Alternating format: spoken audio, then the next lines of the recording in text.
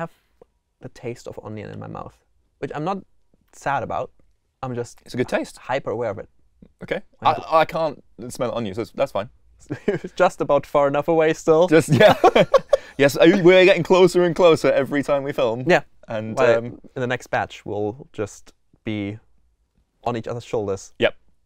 balance. it's going to be a circus act.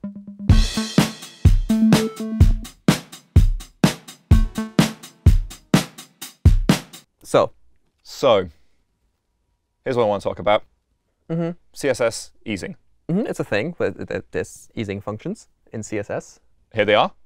That's one. Look at that. Oh. Oh. Oh, there we go. All of those are CSS eases that you can do. Are They- all the, the, the ones that have a, a keyword name, or did you do some custom easing? Did some custom easing on them. Hmm. Um, but you can't do stuff like this True, or this. true. That's the problem. Just don't do it. No, it's nice though. you don't think that was nice? Look at it. Do it again. Look at that. It's nice. Why wouldn't you want to do that all over your web page? Well, I think Safari still has the, the right one, which is their dash k dash spring. Or what? There The is a- spring? yes, they do have a spring function.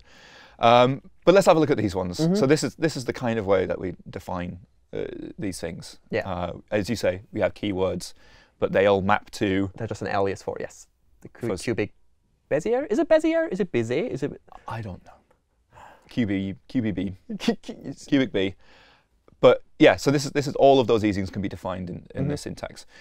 We call them easy. Like they used to be called timing functions, Mhm. which you still see around in CSS, but they're now just called uh, easing functions because the idea is we might get to use them for things other than animations at some point, Yeah, like a gradient, for example. for example. Yeah. Uh, so here's how this works. Uh, this this is a, a linear one, Mhm. uh, and this looks like this. As in, as the input increases, And input the is, output. is time. uh, guess input, progress. input is between zero and one, the progress. and the output is between zero The and progress, and you can, yes. And with linear, it just takes the input as the output. With animations, there is progress on the time axis. I mean, with gradients, it would be a spatial progress. How much for? exactly. right? Well, yes. So zero one, start to finish. Yes, It, it, maps to. that's uh, that's better said than what I was waffling. Thank you. um, but we can do this. And so the red numbers there is x and y coordinates. I've drawn there, and the green is the x and y coordinates of the other part of the, For the- the, for the Bezier handles. curve, the, the handles of the curve. Mm. And what this means is it'll do this. Yeah. So you can see, because the curve is at the top, it sort of eased in. Yeah. Um, uh, well, sort of eased out, I guess, but there's a little bit of an ease in as well.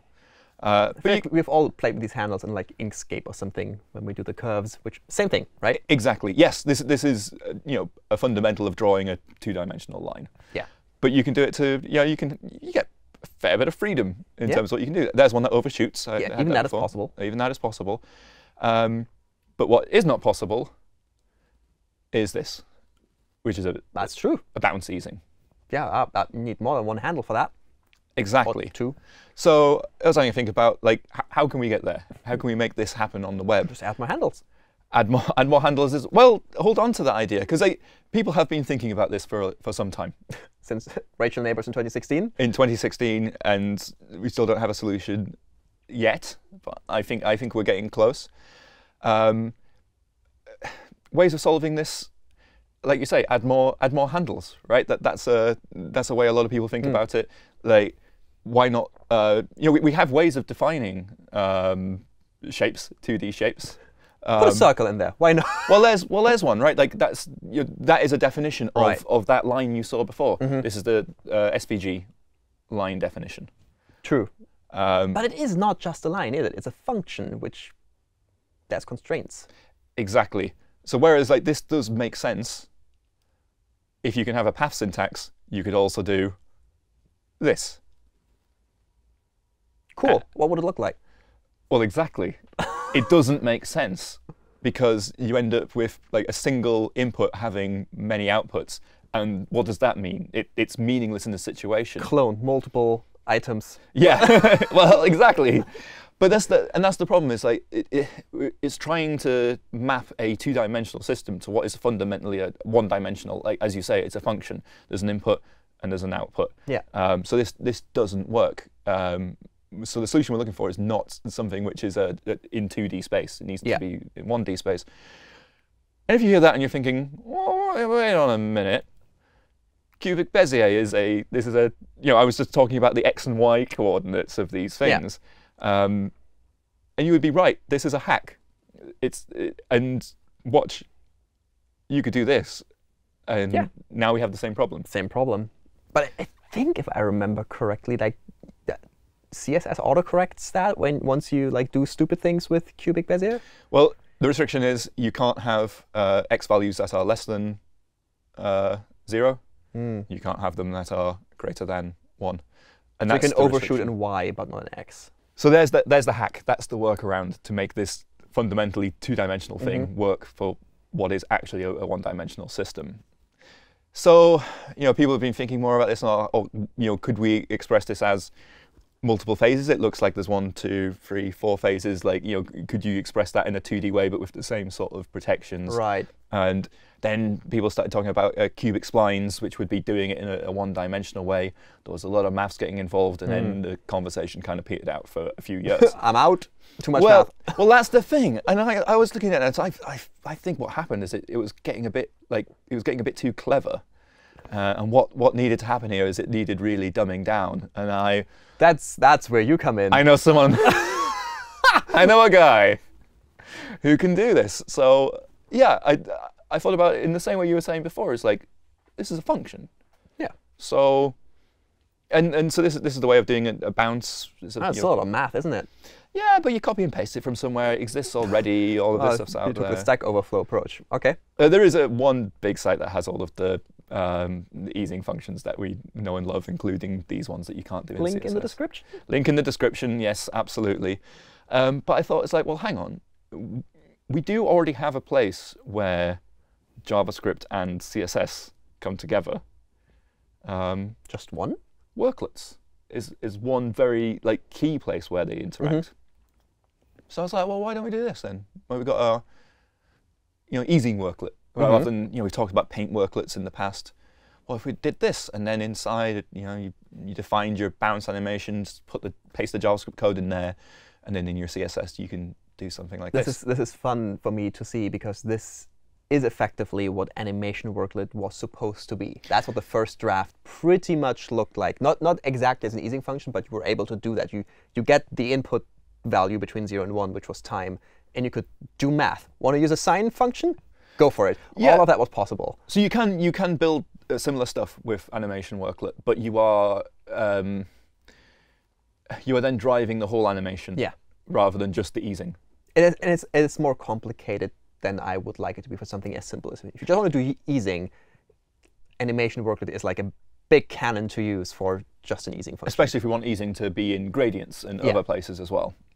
Uh, so I shopped this idea around. I was like, you know, fix it with JavaScript. wh- wh- Why not? Um, and there was some like, uh, maybe internally. I spoke to Simon Fraser of uh, Mm. WebKit uh, and Brian uh, Birtles from the like, does the web animation spec stuff. And the well, Simon Fraser in particular said, well, so hang on, are, are these values being calculated for every frame? And I was like, yeah, sure, why not? Uh, And he was like, well, can we, can I, you know, if I implemented this, could I just calculate them all in advance? Um, I mean, it's probably effectively side effect free, so you could just put the number zero to one through it beforehand, right? Yeah. And I was like, well, yeah, it kind of works. And it was Brian who was saying, yeah, these these ideas are always going to boil down to that. It's like, given enough points, y- y- do you need a, a function? Do we need a whole That's worklet system? And I realized that I, you know, I've done the same as a lot of other people on the thread. I've, I've started overcomplicating it. Um, so I went back to the drawing board, and yeah, sort of thinking about what Brian said. Is like, well, yeah, with two points you can do a, a linear thing, Mhm. but then if we add five, and ten, uh, and twenty, and it- now it's starting to look like the thing. And with fifty points, I mean, there's no curves here. It's all just lines. It's points connected linearly, right? Like there's no smoothness or anything. It's literally just like, I it's it's almost indistinguishable. I think the one you can see it on the one trough there, but I I, I Yeah, if you zoom in, yeah, You and I think if you actually use this as an animation curve, it's probably good enough. Well- because you- you're not going to look at the curve; you're going to look at the thing moving, right? exactly. So I mean, here it is, and it's I can see the linear lines. yeah. Can you see? but you would, uh, you know, for 50 points to look wrong, you are going to have to have a very long animation. Which I mean, is that ever going to? Yeah, it's probably not going to happen. Not for a, a bouncing No. kind of thing. Um, so yeah, it got me thinking of like what, how, how could we define this? What would this look like? And I realized it already exists. Linear gradient has Yeah. this similar system. It's a series of points that we connect linearly. Yeah, if you don't specify any like percentages, it's just like equally spaced between start and finish, and then just does the thing linearly between each point. So why can't we do this? You know, that, that Yeah. So this was the, the proposal I, I made, saying like, well, we could just have yeah, comma separated points, and it would distribute them itself. Um, I see why you would call it linear, but it really bugs me that the function is called linear. yeah. Do you know what this? Maybe that bit needs to be renamed because you're right. This this confuses people that it's called linear, but you I use totally it to get describe it, right? Especially with this explanation. But it's like if you look at it from a code perspective, like you're very specifically trying to diverge from the linear easing. Yeah, and the reason I picked linear is because it's already a keyword in CSS, so making it a function is Right. It's like, and, and the idea is if you called it with no arguments, it would give you a, you know, the same as the linear keyword. Ah, No, but I, I do agree. I think this might not be the right name for it. You just treat this like, I mean, if you don't like the word linear, linear gradient is the same, right? Yeah. It's just, it, but it's The thing is with linear gradient, if you like 90% of the time you have, well, maybe that's just me being lazy, but I feel like you only have two color stops, start and end. So actually most of the time it makes sense. But you're right, like once you have more color stops, it actually isn't a linear gradient anymore, is it? Like it's linear between the points you provide, but yeah. But overall, it's not. But I, I've shown this to enough people, and they've, you know, pulled a face at the name. Yeah. Whatever, you know, that can change. But yeah, just like, you know, your gradients, just add a point in there. Now we've got a midpoint that you can shift around. Like linear gradients. I was going to bring this up, yeah.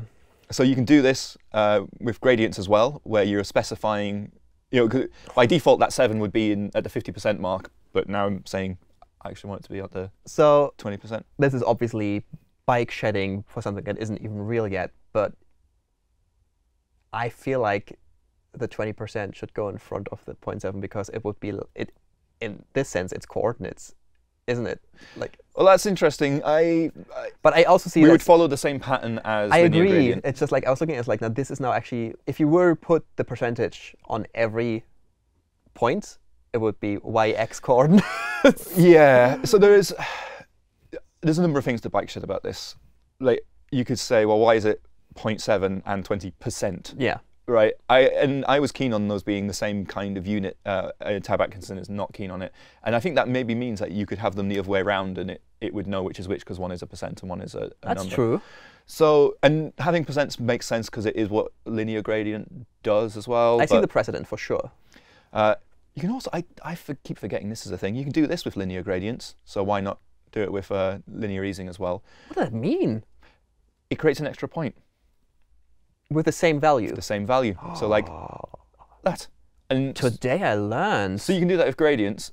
So same with this is like, well, why you know why wouldn't we want it with this as well? Because you can create a that could be stepped. super handy for yeah. Because right now we, we do have stepped um, the step function in CSS for you know saying you know ease there, but just do it Yeah. over step, five yeah. points. But you can't combine easing and step. Yeah. But you can with this, like, because you can create the steps And manually. what if you and wanted to have steps, but the transition is slightly slanted? So you go.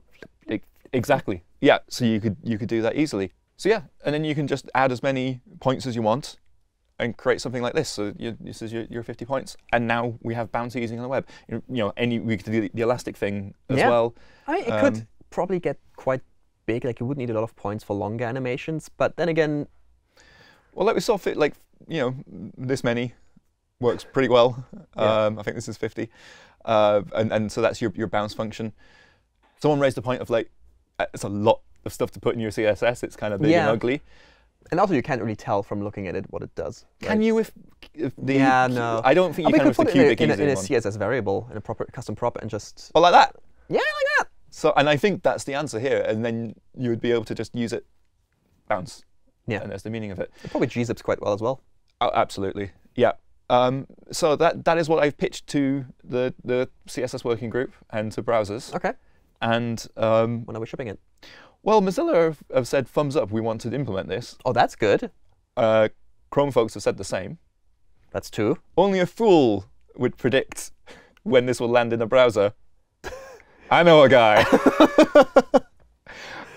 we might get this in Q1 Oh, Um, at the same 2022. time where the in color Canary. functions. Yeah, uh, in Canary. In Canary, sure. Yeah. But, you know. and and the you know Firefox Nightly if if you know things get moving in time, maybe Q2, but all all the pieces there, you know, there's there's still a possibility in future for being able to define these like proper cubic spline curve things to do the more complicated thing, but I think hopefully this This is a great escape hatch. Like you can do whatever you want with this.